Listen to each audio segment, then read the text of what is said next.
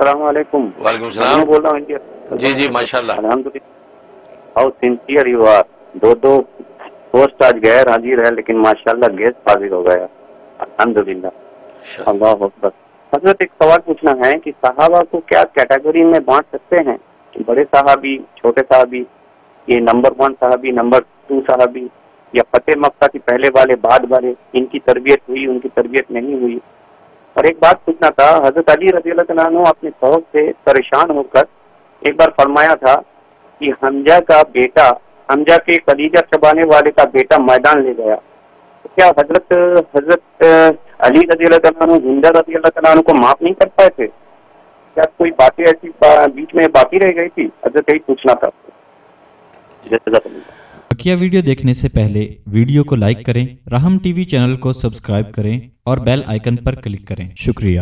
بہت شکریہ بہت شکریہ۔ مجنو آپ جو انڈیا سے کال کر رہے ہیں، اللہ تبارک و تعالیٰ آپ کو خوب برکت عطا فرمائے اور جو ہے وہ آپ کی دعائیں ہمارے حق میں قبول فرمائے اور آپ ہمارے پروگراموں کو اپریشیٹ کرتے ہیں۔ اللہ تعالیٰ اس کا بھی بہتری بدلہ اور جزا آپ کو عطا فرمائے۔ اور باقی آپ نے جو سوال کیا ہے کیا صحابہ اکرام رضوان اللہ علیہم اجمعین کو آپس میں ان کے درجہ بندی کر سکتے ہیں کیٹاگرائز کر سکتے ہیں یا نہیں؟ تو جواب یہ بالکل کر سکتے ہیں اور یہ تو قرآن کریم نے کیا بھی ہے۔ ظاہر ہے کہ جو ہے وہ اسابقون اولون کہہ کے وہ صحابہ جو مہاجرین صحابہ کا اپنا مقام بیان کیا سابق اولون کا جو پہلے والے ان کا اپنا مقام بیان کیا۔ تو یہ درجہ بندی بالکل کر سکتے ہیں۔ اور خود نبی کریم صلی اللہ علیہ وسلم کا ارشاد ہے انناسک المعادن کہ لوگ جو کانوں کی طرح ہیں۔ اور یہ صحابہ اکرام کے بارے میں انسان عام طور پہ فرمایا کہ اناسک المعادن کہ لوگ کانوں کی طرح ہیں۔ کان کا مطلب یہ ہے، وہ مائنس جو ہوتی ہے مائنس، کان۔ تو کانوں کی طرح ہے، کانوں کا مطلب یہ کہ اس کے سونا نکلتا ہے کان میں سے سونا نکالا، چاندی نکالا، لوہا نکالا، تانبا نکالا، پیتل نکالا، مختلف کانیں ہوتی ہیں ان چیزوں کی۔ تو ان ناسک المعادن فرمایا کانوں کی طرح ہے۔ کانوں کا مطلب یہ ہے کہ مثلا جو سونا ہے سونا ہے وہ چاندی سے افضل ہے۔ پھر جو چوبیس کیرٹ کا سونا ہے، وہ اٹھارہ کیرٹ کے سونے سے افضل ہے۔ خود سونے کے اندر درجہ بندی۔ اور پھر اس میں اشارہ نبی نے کر دیا کہ جو سونا ادنا درجے کا بھی سونا ہو، وہ اعلیٰ درجے کی چاندی سے افضل ہے۔ ادنا درجے کا سونا اعلیٰ درجے کی چاندی سے افضل ہے۔ تو گویا کہ صحابہ اکرام میں جو درجہ بندی اب کرتے آئے سب سے ادنا صحابی جو ہے، وہ بعد کے یعنی تابی، تابعین اور تبا تابعین اور اولیاء کام جو قیامت تک آئے ان کے اعلیٰ سے اعلیٰ سے بھی افضل ہے۔ بعد کے اولیاء اللہ کے اندر اگر غوث غوث کے مقام پر کوئی فائز ہے، لیکن ادنا درجے کے صحابی سے افضل نہیں ہو سکتا۔ ادنا درجے کے صحابی اس سے افضل ہے، کیونکہ الناسک المعادن کیونکہ ادنا درجے کا سونا ہے۔ وہ بعد والی چاندی جو جتنی خالص ہو، اس سے افضل ہوتا ہے، بہتر ہوتا ہے۔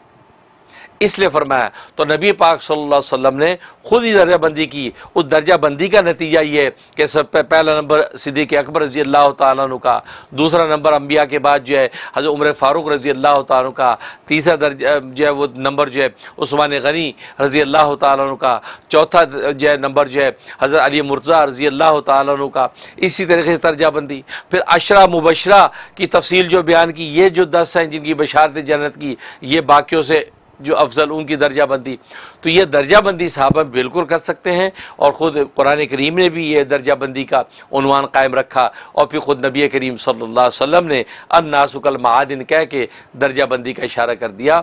اس درجہ بندی سے کسی کی کوئی توہین نہیں ہوتی۔ توہین نہیں ہوتی، اس میں انزل الناس منازلہم، ہر شخص کو اس کا اپنا حق اور مقام دیا جاتا ہے۔ اب صدیق اکبر جگہ کا مقام تھا، ان کو اپنا مقام دیا۔ اب اس کا یہ مطلب نہیں خدا نہ خاصہ عمر فاروق رضی اللہ تعالیٰ کی توہین ہو گئی یا ابو حریر رضی اللہ تعالیٰ کی توہین ہو گئی نہیں وہ اب صدیق اکبر کا مقام اس کو دے دیا حضرت عمر کا جو مقام تھا وہ مقام اللہ کے نبی نے ان کو ان کا مقام دیا اسی طریقے سے عثمان غنی اور حضرت علی مرتضیٰ پھر آگے جی طلحہ زبیر ہے یہ سارے صحابہ آتے ہیں، تو یہ درجہ بندی صحابہ کے اندر جو ہے بالکل کی جا سکتی ہے، اس میں کوئی مذاکرہ نہیں کر سکتے ہیں اور یہ کسی کی توہین اور تنقیص مراد اس سے نہیں ہوا کرتی۔ یہ ذہن میں رکھیں۔ باقی یہ کہ اللہ تبارک و تعالیٰ تمام صحابہ سے راضی ہیں۔ وہ ایک اجتماعی قانون اللہ نے بیان کر دیا، رضی اللہ عنہ و رضوان۔ اللہ تبارک و تعالیٰ ان سے راضی ہو گیا اور وہ اللہ سے راضی ہوگا، ہو گئے۔ تو اللہ نے اپنی خوشنودی اور ان کی خوشنودی، وہ وہ ایک اجتماعی عنوان سب کے لیے جاری فرما دیا۔ لیکن بات وہی ہے کہ جیسے ایک درجے ایک کلاس والے جو ہے، وہ جو پاس ہو کر جو دوسری کلاس میں آگے جاتے ہیں، تو کوئی فرسٹ کلاس، کوئی سیکنڈ، کوئی تھرڈ اور کوئی عام پاس نمبر لے کر آگے جاتا ہے، لیکن پاس سبھی ہوتے ہیں۔ اگلی کلاس میں سبھی پہنچتے ہیں۔ بالکل اسی طریقے سے رضا کا پروانہ اللہ نے سب کے لیے جاری فرما دیا۔ باقی ان کے اندر آپس میں درجہ بندی ہونا وہ کسی کی توہین و تنقیص نہیں ہے، بلکہ ہر شخص کو اس کا اپنا اپنا حق دے کر اگلے مقام پر پہنچایا جاتا ہے۔